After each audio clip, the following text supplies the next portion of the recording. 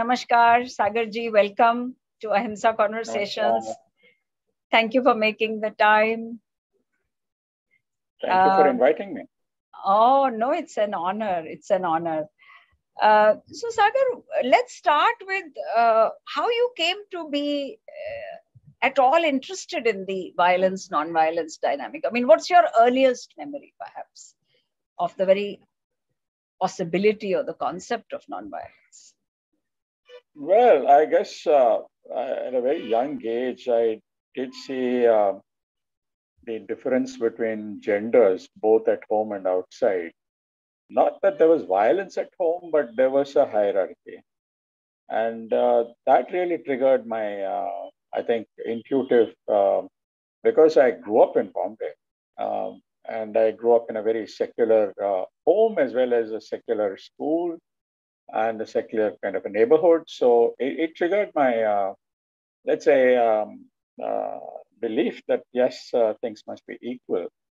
Uh, but I've come a long way from there and uh, moved on in many ways, and uh, and so here I am trying to explain violence and non-violence in terms of um, energy use. So from Bombay IIT, you could have gone down many conventional tracks.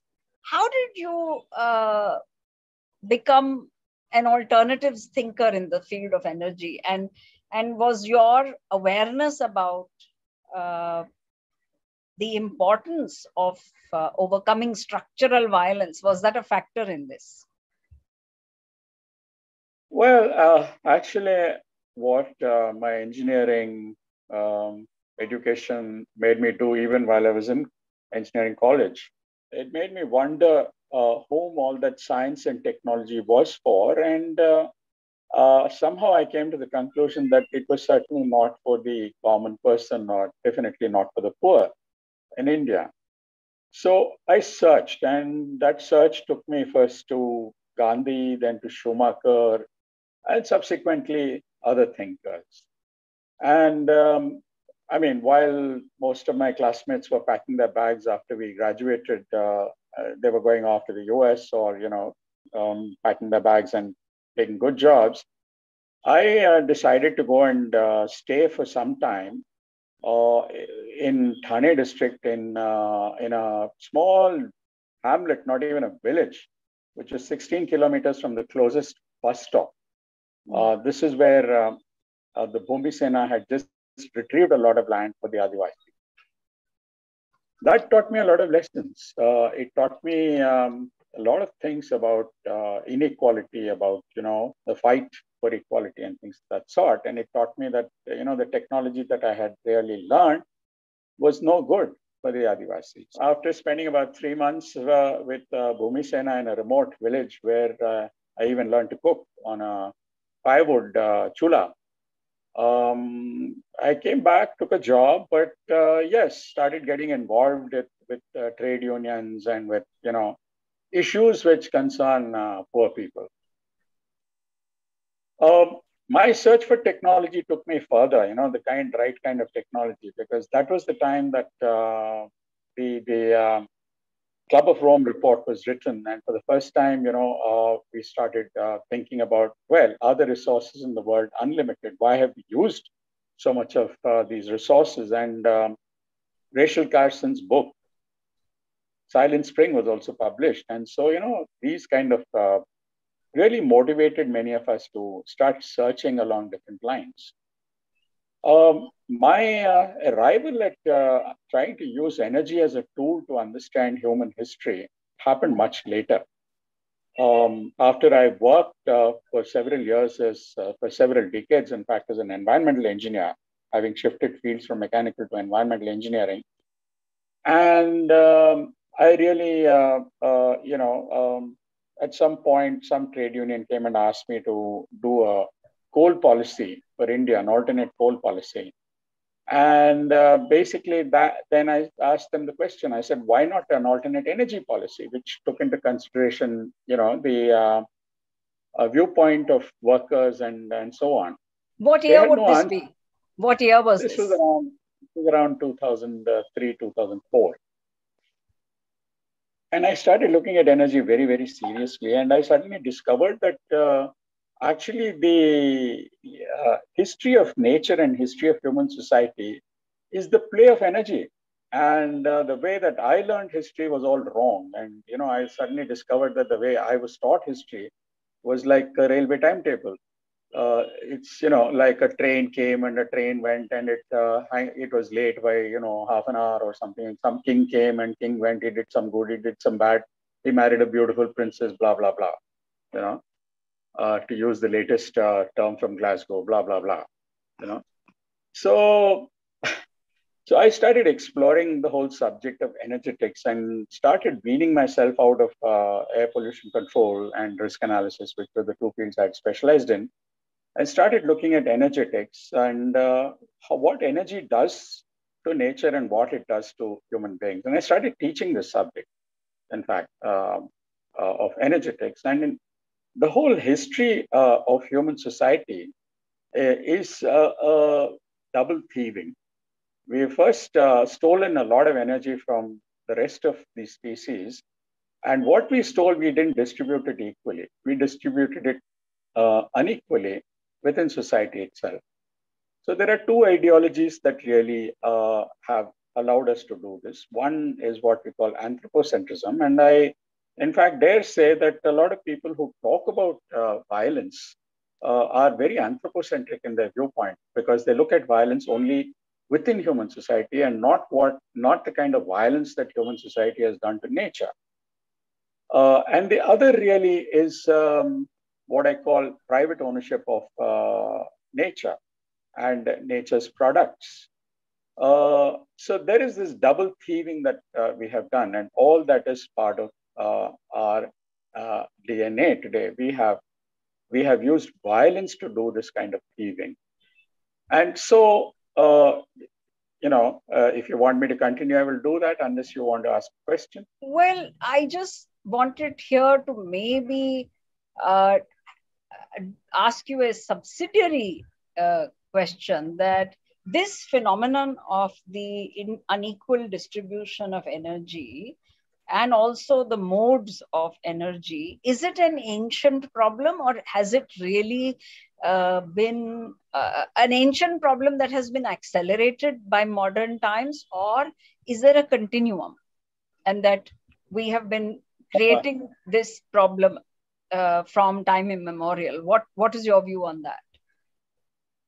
Yeah, uh, it is an ancient problem, and it has certainly got accelerated in the last uh, 300 years, ever since we started uh, using fossil fuels. Because uh, if you uh, put on the slide which says differences between humans and other species, only humans create knowledge of energy conversion. It's only humans who have the capability to develop knowledge, in particular, knowledge of energy conversion. Um, and this uh, is what, in fact, is at the bottom of the problem. If you click on the hourglass, you'll get the full picture. Um, so, what has happened basically is that uh, we have continuously taken more and more energy from nature as long as uh, you know we were hunter gatherers more than 10000 years back we took very little energy and it was basically for survival reproduction and evolution. The reproduction and evolution part is very small. It's less than 2% of the total energy. But it was basically for survival. Now you did not have uh, private ownership of nature. Everything was uh, you know sort of shared. And so that part of the violence wasn't there. But the minute we learned to domesticate plants and animals about 10,000 years ago, um, we changed the whole face of, uh, or we started changing the environment because uh, we clear felled a lot of land. And uh, for that, we used a lot of energy and converted it into farmland. And that, when we did a back calculation on how much energy was used, we clear felled one third of the total forest area that was available 10,000 years ago. If you look at that slide, it's a very, uh, it's the next slide. Uh, we clear felled 20 million square kilometers of farmland. And in the last 8,000 years, and each year, we have expended the amount of energy that is there in 20,000 Hiroshima sized bombs, multiply that by 8,000. That is the amount of violence we've done against nature. So, uh, you know, basically, when you clear fell a forest, it's not just the tree that you're cutting, you are getting rid of all the species in that, or most of the species uh, in that forest as well. Now, when you compare what we the violence that we perpetuated against nature, which is uh, not what most people talk about, those who talk about uh, violence, uh, the genesis of our violence is there. That we have used it against nature, and that's that is uh, what we have done. The obviously the next two steps are you know logical uh, sequels to the violence against nature that we've perpetuated which is we have uh, since slavery created a institution called private property and uh, i've looked up a lot of literature in uh, law and in uh, philosophy to see what is the basis of private property and i have not found it. Um, i will explain it very simply.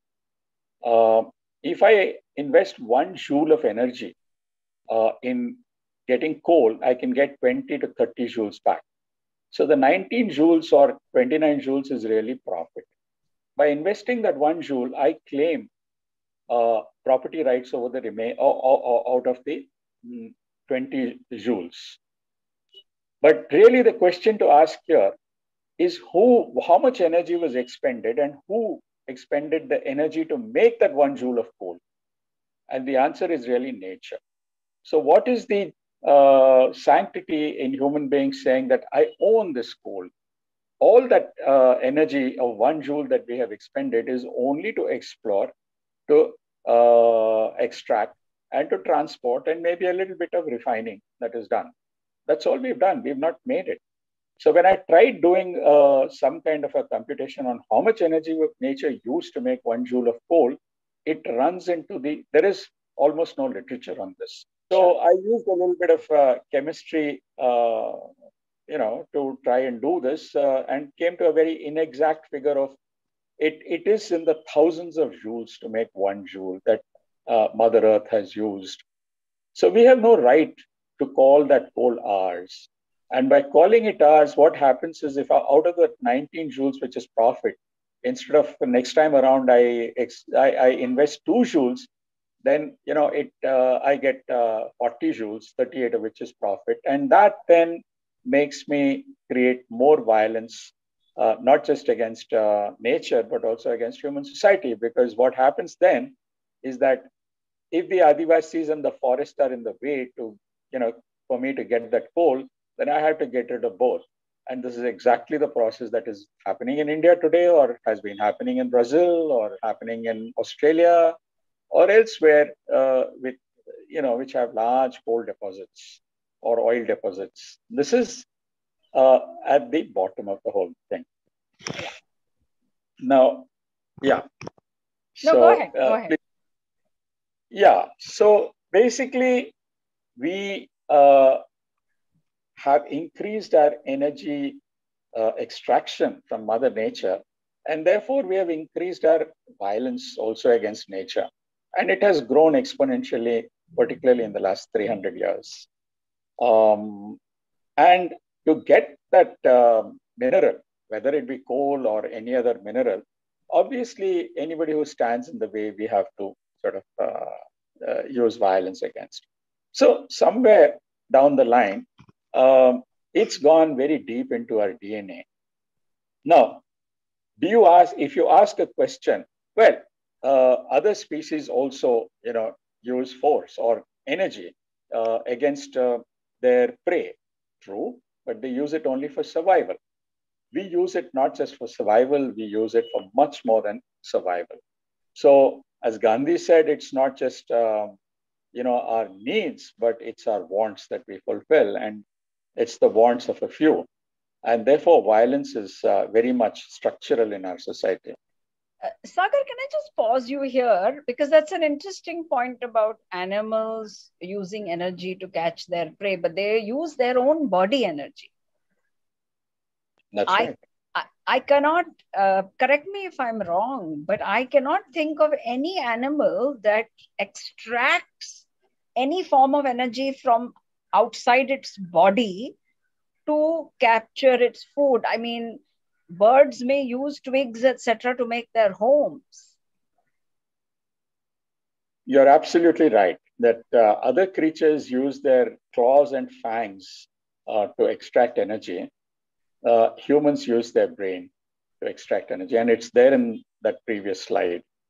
So we have moved on, you know, from using biomass and uh, what I call animate energy, which is both human and uh, you know uh, animal energy, animal energy of those animals that we have domesticated, to about a thousand years back, learning how to use wind and water, and 300 years back, learning how to use fossil fuels. And uh, growth really has happened uh, at an exponential rate after fossil fuels were tapped. Uh, so we've created technologies that really can use fossil fuels, and we are nearly at the end of uh, the fossil fuel era. What next? But I won't go into that question right now. I will remain with uh, the question of uh, violence.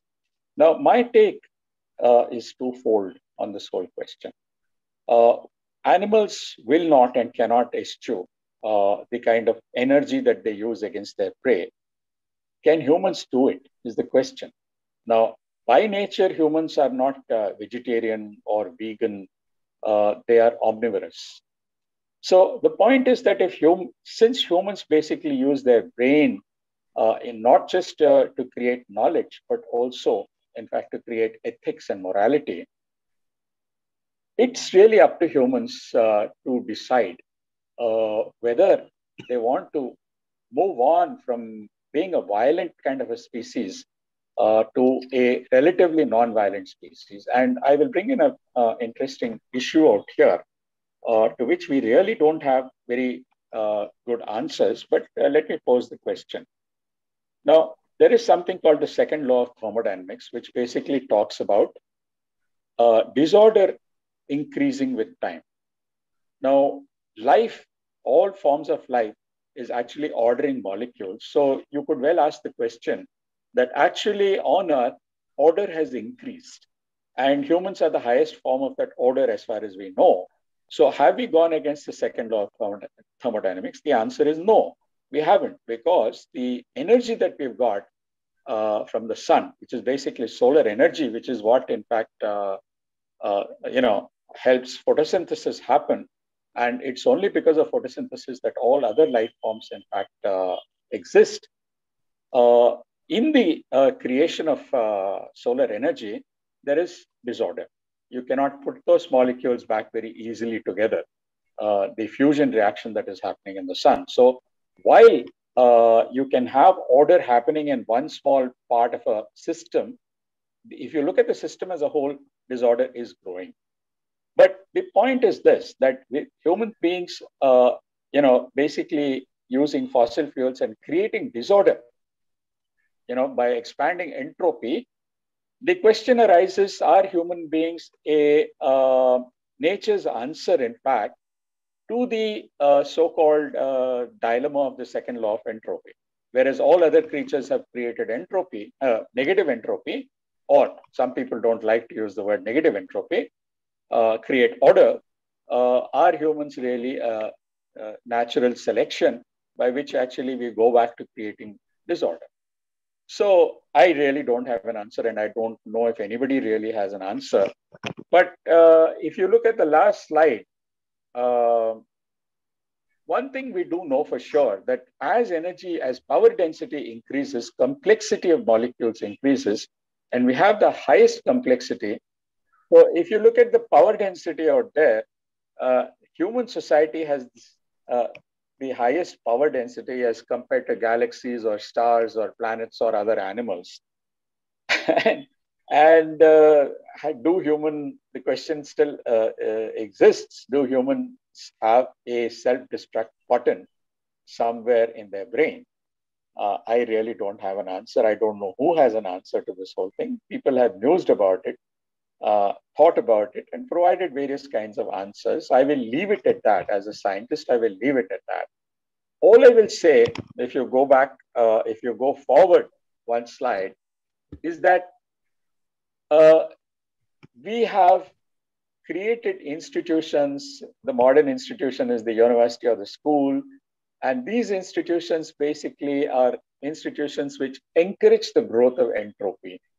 Now, do we now consciously start thinking about creating knowledge which creates, you know, which goes the, in the reverse direction? That is, goes towards negative entropy.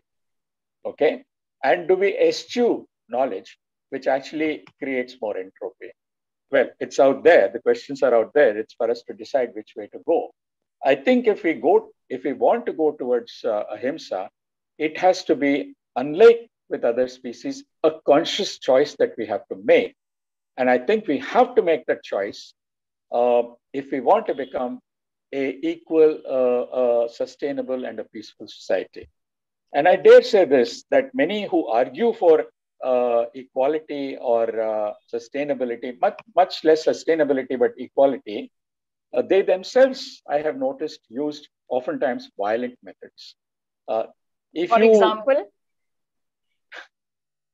For example, the very uh, organizations that talk about equality, whether it be class equality or gender equality or even race equality, often resort to violent methods.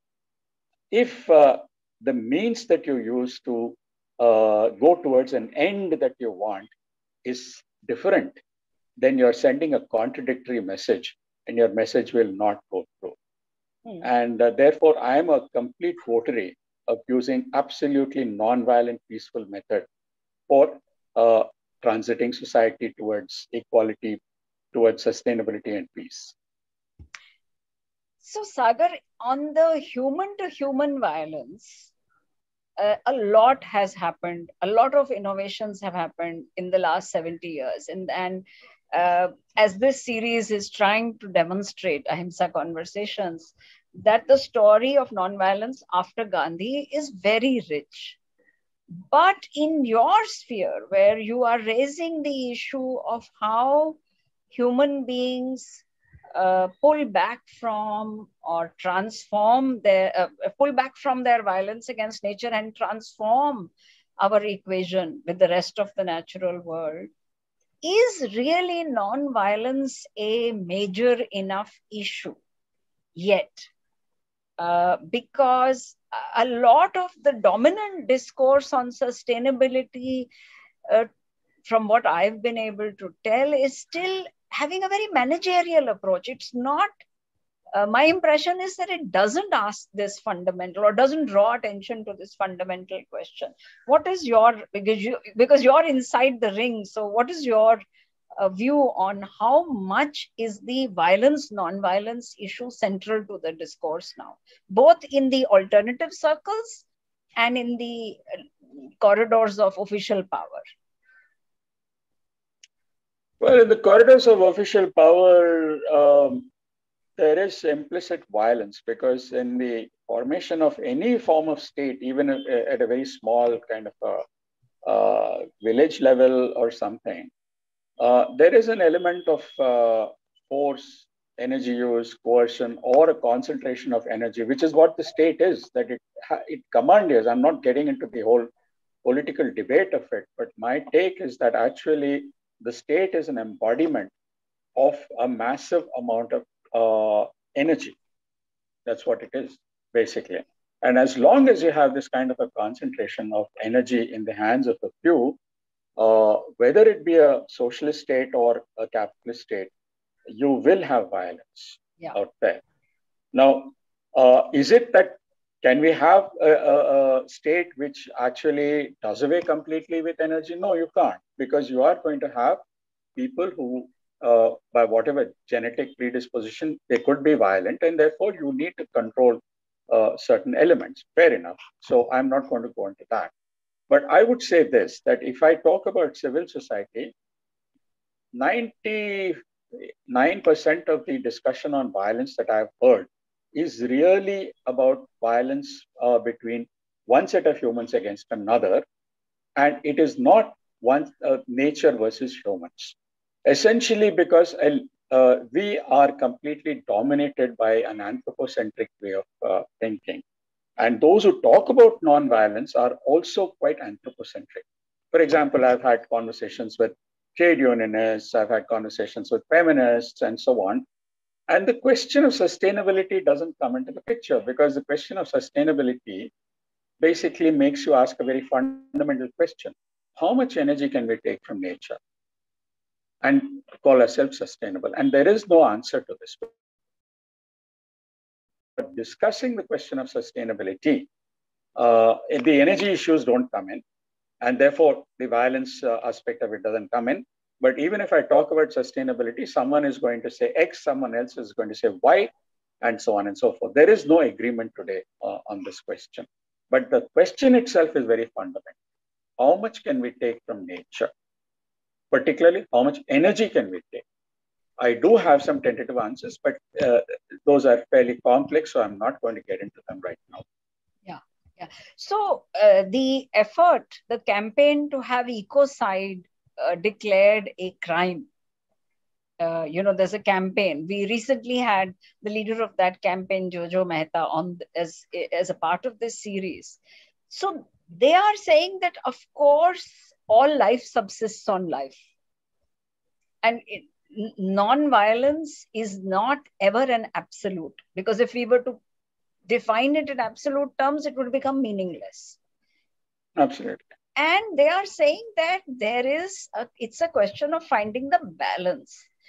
So any insights that you can share sagar on how we would approach this question of balance? Because um, I, I don't want to go to the individual level just now because you know that's actually quite simple uh, at one level that you know somebody's idea of a basic need is an air conditioner and another person's idea of a basic need may be a hand uh, waving fan. So but let's stick with the structural issues that in a world where both commercial enterprise and entire nations states are uh, kind of joint at the hip with the idea of indefinite growth. How, uh, number one, can we define the limits of uh, violence to nature? Or, no, sorry, let me rephrase that. Can we define balance without challenging that notion of growth, indefinite growth? Well, uh, it's already been challenged, uh, and it is being challenged. I think uh, the voice is growing. Uh, the, for example, the first book on degrowth uh, came out uh, three years back. Degrowth in India. I was I had the you know fortune of being able to contribute a chapter to it from a technical point of view. There were many other authors there who are very well known economists and uh, sociologists and so on. Um, leave aside India, I mean, when you, uh, there was a very interesting question that an activist who's actually a, a teacher of political science asked me uh, a few months back. He said, sure, degrowth, but where do we really stop? And I really had no answer, you know.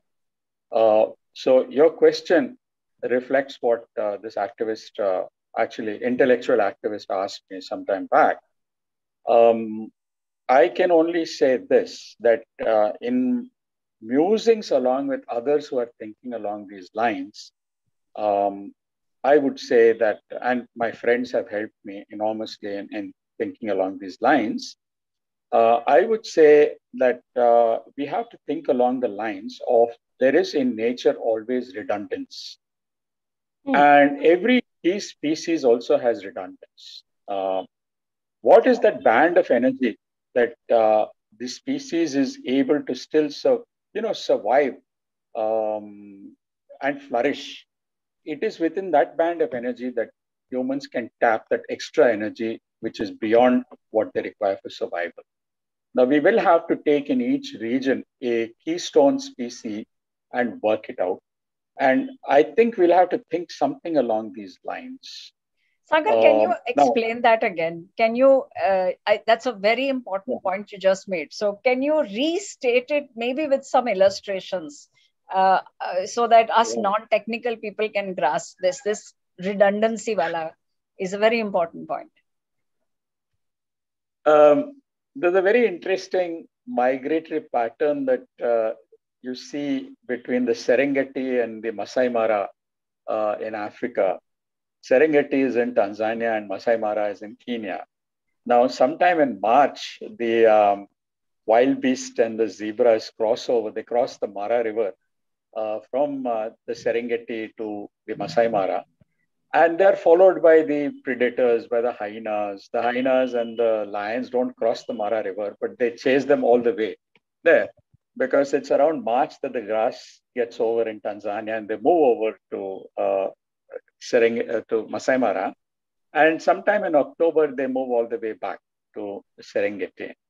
So you have this perpetual chase. Now, if you didn't have predators, what would happen is that you would have basically the wildebeest and the zebras, the two dominant species, you know, herbivores out there, growing in numbers, and that would finish off the grass uh, much more quickly.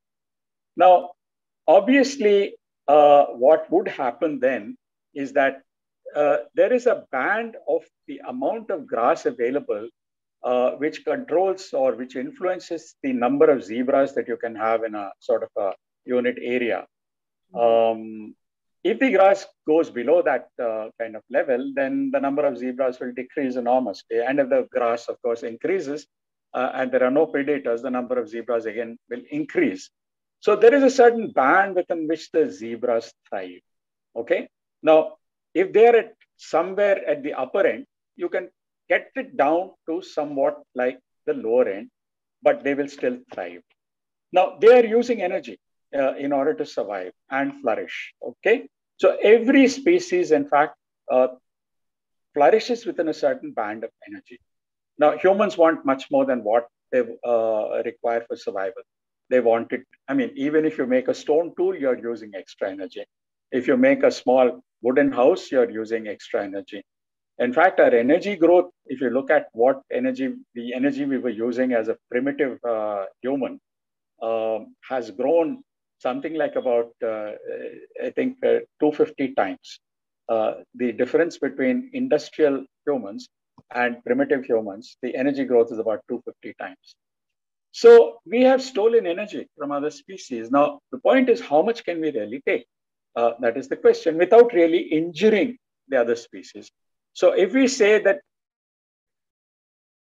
one species flourishes at somewhat closer to the lower end of the band of energy that they normally uh, operate within, then we have that energy in order to, uh, you know, uh, use for our wants, not just needs, but our wants we'll have to work these out. Uh, and uh, really, it, it is the work of uh, biologists uh, who are conversant with energy computations who will have to do this kind of work. Not, not, not a mechanical or an environmental engineer like me. I'm not, I'm too ignorant to do these kind of computations. So in my discussions with various other scientists and so on, this is one of the we thought was one of the best ways of doing it, except that we didn't know how to do it someone else will have to do this. Probably mm. we will find such mm. people or mm. encourage younger biologists to do this kind of work.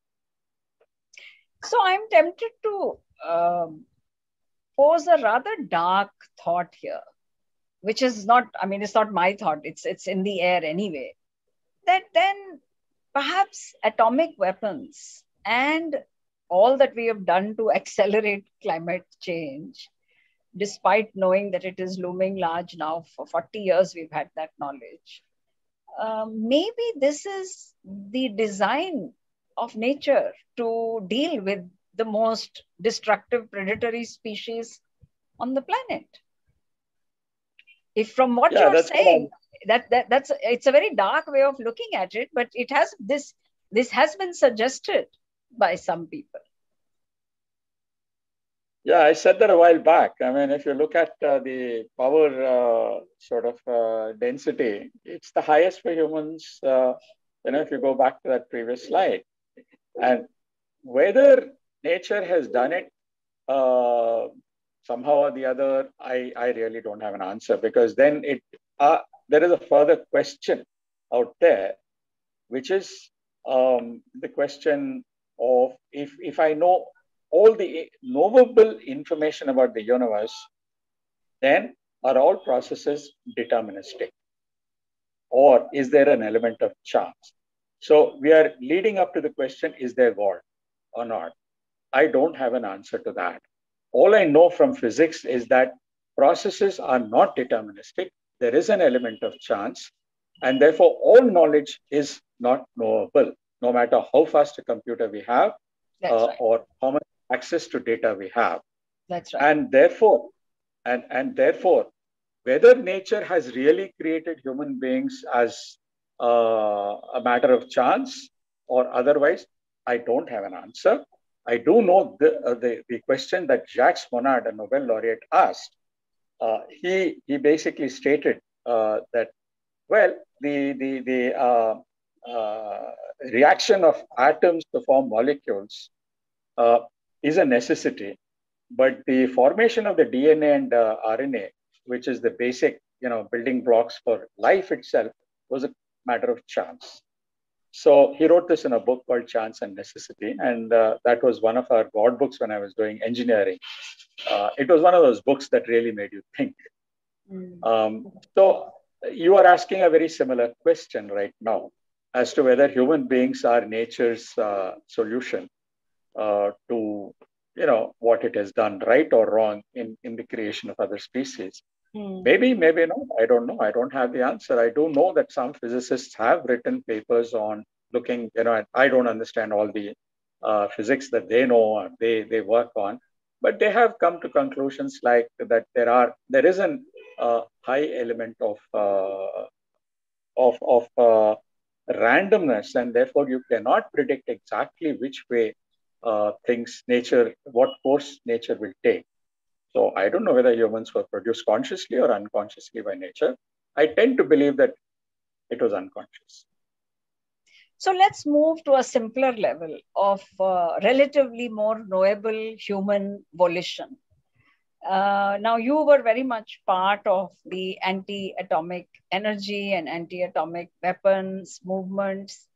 And uh, that movement had some limited successes. After all, in a technical sense, now nuclear weapons are deemed to be illegal. So when we look at that movement and we look at the climate change movement, both of which are uh, at their core issues of structural violence that we as a species are generating. What is your reading today? You're just back from COP26. Um, in, in practical and foreseeable terms, uh, both on the nuclear weapons front and on the climate change front. Uh, what are now our chances of, uh, you know, any meaningful breakthroughs? And by that I mean, very simply, are we likely to get to the end of this century with life as we know it or not? No, we won't. Wow. That is for sure. You're so sure. Absolutely. Explain. See what people talk about. What people talk about. There are two throughputs in the economy. The, you know, if you look at what humans uh, do, there are three sectors. We take natural resources. We then, and these natural resources are basically energy and material resources. Uh, the much of the debate uh, that people uh, have been doing in, in the climate change circles basically is about energy uh, there has not been enough discussion on the material throughput, and that is the uh, uh, point which is actually probably going to be a bigger problem than climate change. Okay, so we have material uh, throughputs and we have energy throughputs, and we mix the two, we use the two to create serve, goods and services. And that creates waste energy and it creates waste material, which otherwise we call pollutants, and we throw them out, right? Okay. So there are three sectors uh, where the, the en- environment uh, from which we take resources, which let me call it the source, then we take these resources and produce goods and services. Let me call that the production sector. And then we again go back to the environment and throw our wastes.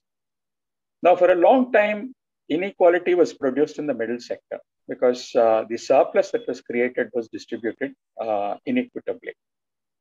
The uh, crisis has developed now in the other two sectors the environment from where we take resources, because water, uh, in fact, is going to be the first uh, resource where probably we will see water wars in the next couple of decades before we see energy wars.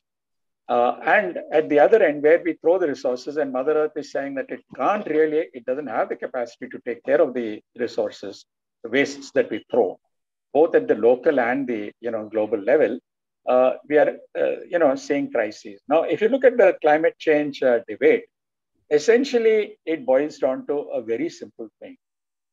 Uh, the developed countries have used a lot of fossil fuels uh, in the last 300 years, and uh, they have basically developed themselves, created a certain living standard.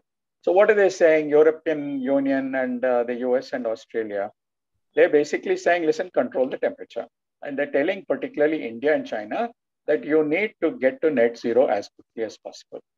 Okay. So they're basically saying we want to protect our standard of living. What are the developing countries saying, particularly India and China? They're saying, listen, you've used a lot of fossil fuels and thrown them into the atmosphere and warming. Now we want to develop, and you want to put a you know uh, strictures on our development. So we want to use coal because we have a lot of coal. So these two issues basically uh, are diametrically opposed to each other. These two issues are one is what is called net zero, where we have to get to net zero carbon emission by 2050 if we want to remain within a 1.5 degree uh, temperature rise uh, by the end of the century. And the other is what is called climate justice.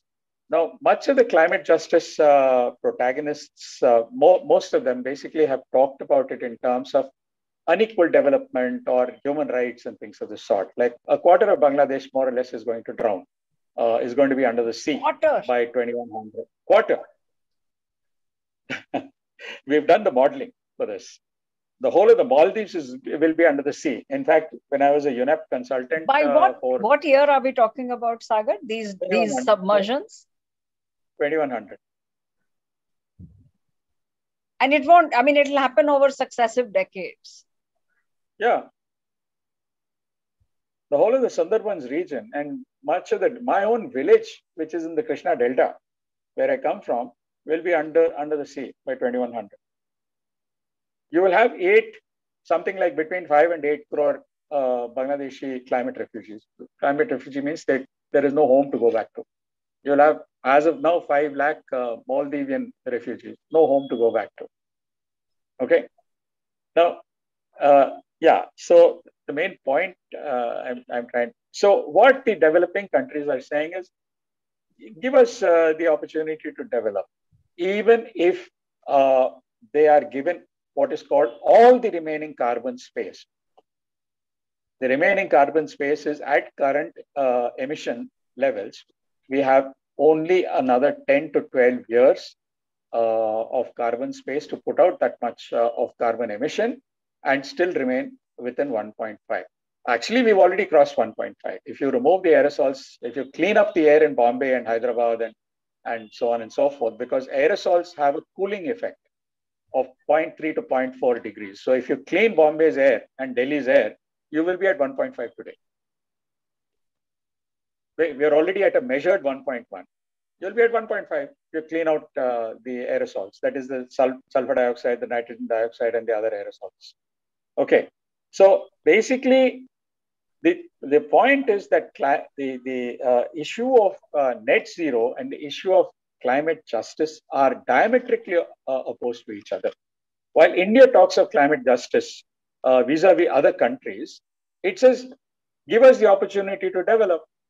Okay, but is it offering the same uh, uh, for its own citizens? No, because if energy is expended in India, then it is the rich who are going to develop and the poor are going to remain more or less where they are because trickle down theory has failed and everybody says that.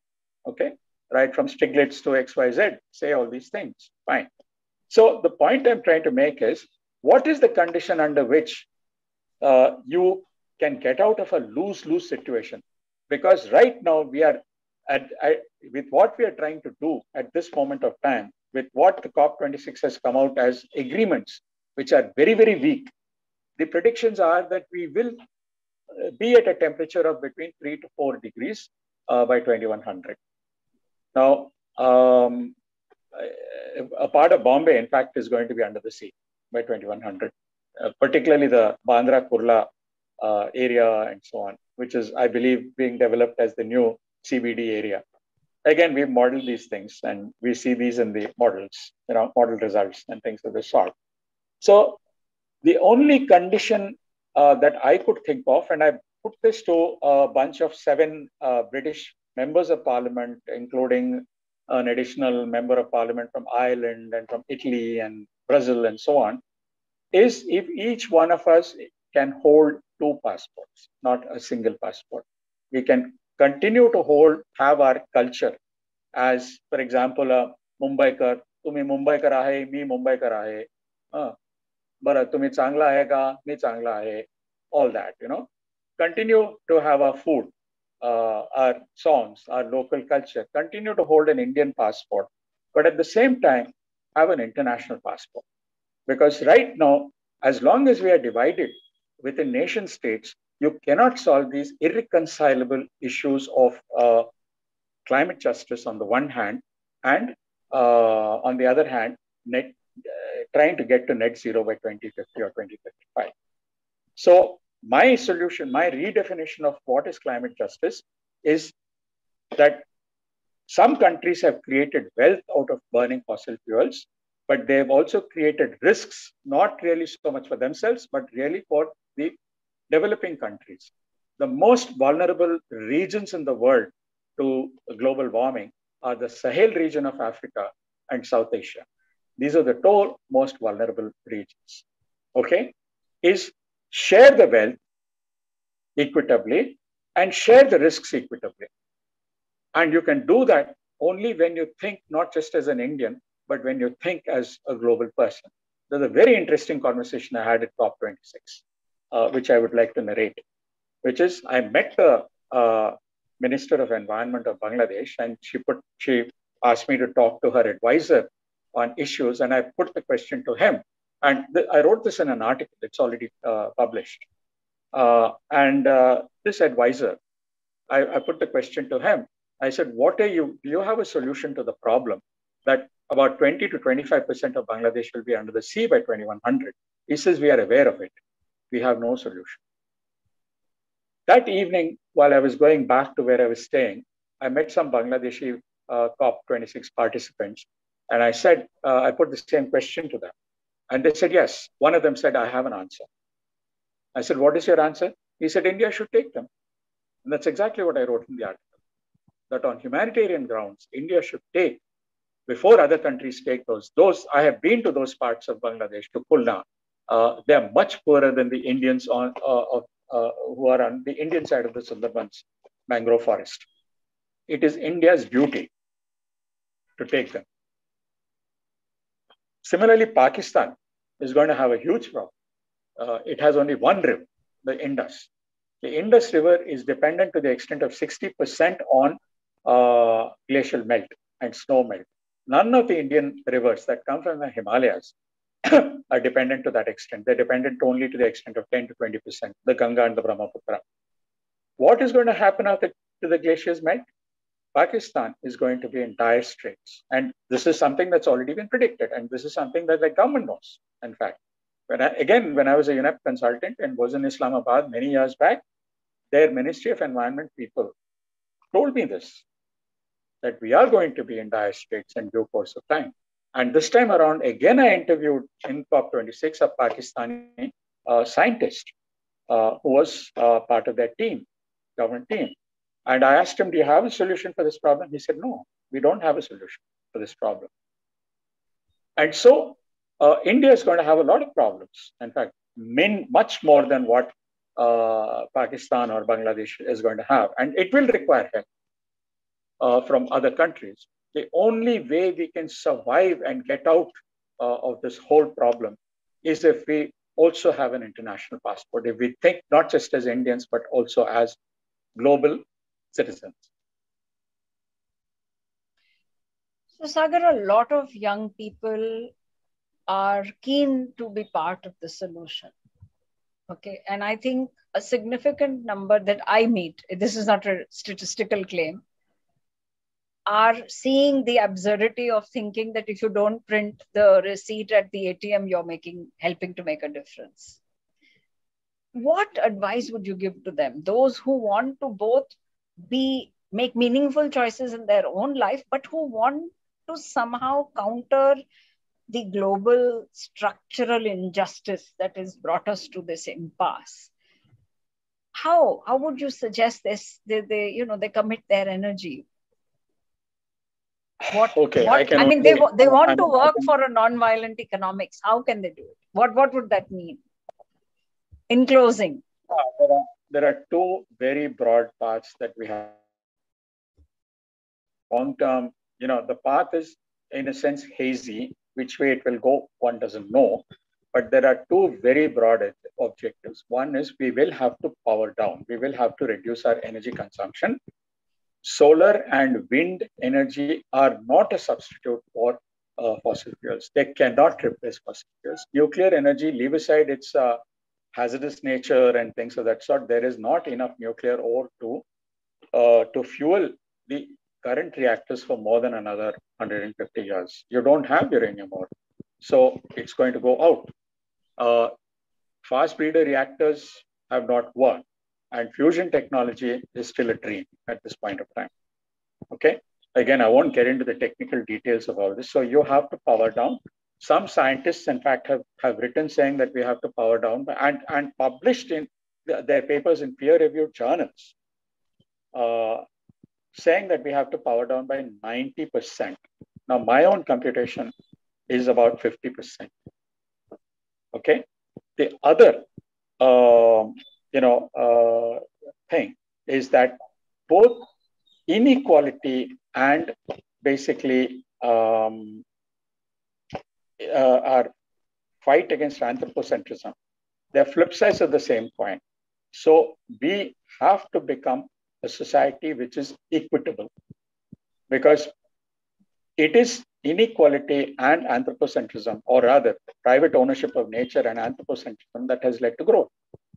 So we'll have to get into uh, a situation of you know being steady state. But how do you fight these two? Because both these uh, ideologies and the institutions that they've spawned off are more or less 5,000 years old they're not going to go away just because you wish them away. They're going to fight back, and they're far more powerful than uh, anybody who talks about let's you know be biocentric or let's be a, a, more kind of an equal society and so on and so forth. So it's going to be a long drawn thing. But well before that, my fear is that we are going to run out of uh, energy and we're going to run out of a lot of non renewable uh, uh, ores. 80 non renewable ores are going to uh, peak out and start exhausting out within the next 50 to 70 years. In fact, the, the, the, the question is if people think that solar is a solution, there is a simple question to put for which uh, they need to answer. Are you going to have any copper after another 50 or 60 years? How are you going to connect your PV panel to the grid without copper? So even if you are able to make a PV panel, you can't connect it to the grid because you don't have a conductor. So what we've done is we've just overused a lot of uh, material, uh, material non-renewable resources.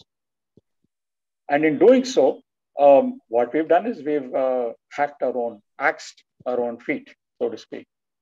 So we have actually what I believe is three problems. One is, you know, three tipping points today.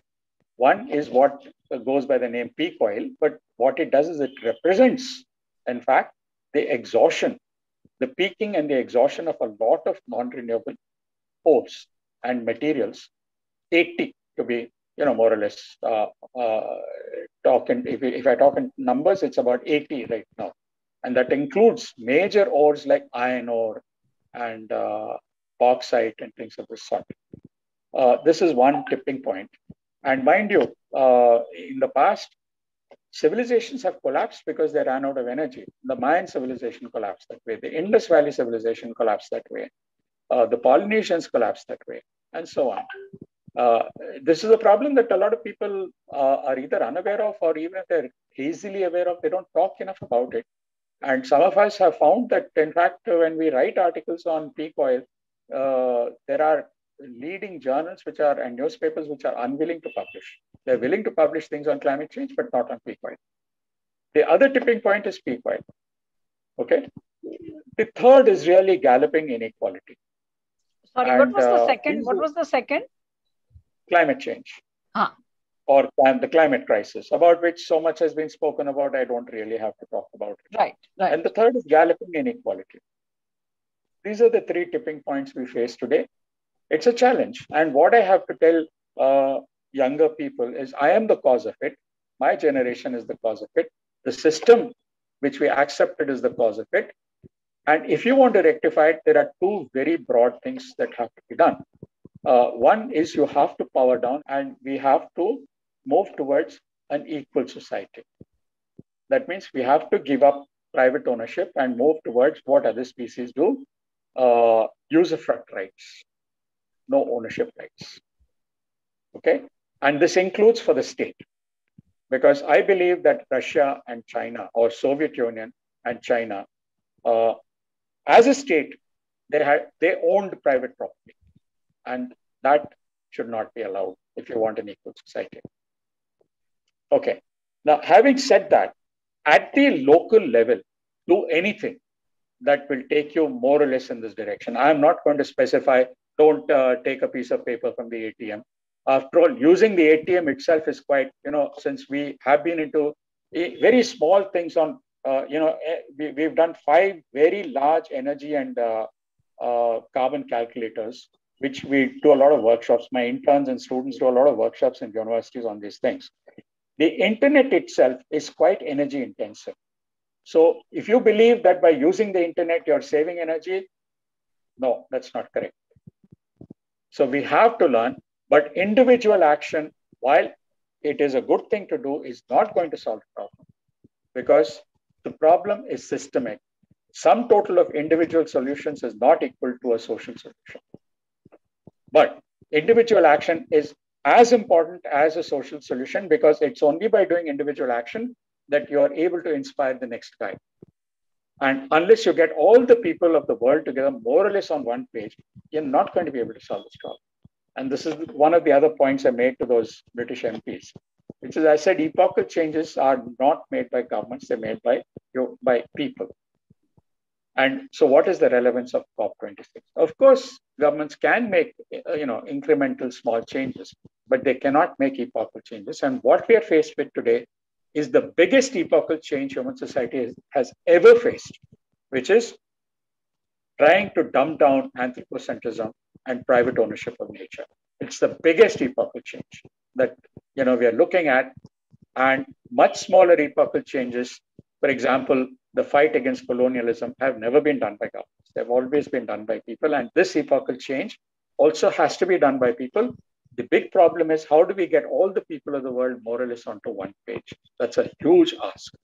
If we don't do that, and uh, the, the, the belief that many of us have uh, is there are only two roads. Either we get to our senses and take the right road, or the other road is going to take human society to absolute, let's say, devastation.